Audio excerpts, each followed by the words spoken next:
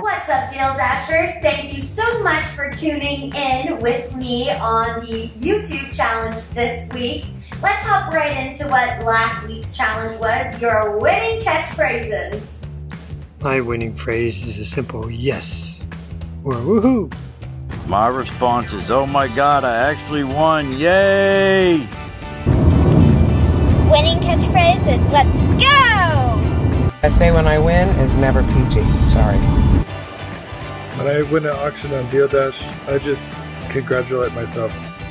Hey Deal Dash, when I win something, I like to cheer out hot skiddly doo. Hey Deal Dash, my um catchphrase when I win is really simple. It's just yes, yes, and I won't say what I say when I lose something. Hi Deal Dashers.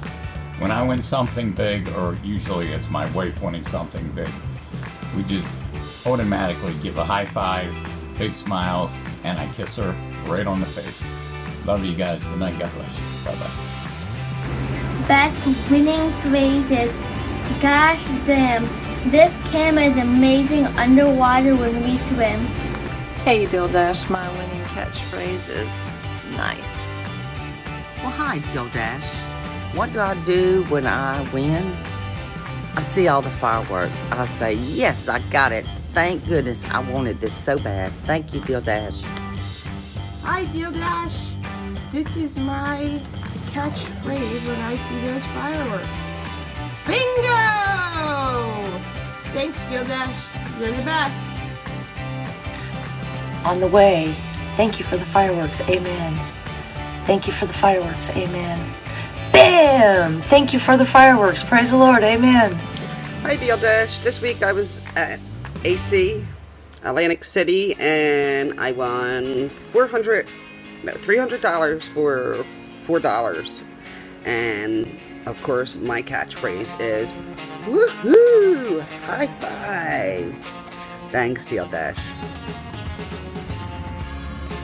Hey, Deal Dash. Jerry here. Uh, catchphrase for me when I win something usually, I just usually just say, got it. Thank you. Have a good day. Bye. You can see, I am getting ready to wind down and watch a movie. The problem is I have no idea what to watch. I am all out of movie options and recommendations. So, your challenge, it's an easy one. What's your all-time favorite movie? Let's get a list going and help each other out for the next time we host a friends and family movie night. My all-time favorite movie has got to be The Grinch That Stole Christmas, the Jim Carrey version. I watch it all year round in the summer, spring, autumn, and of course, during Christmas time.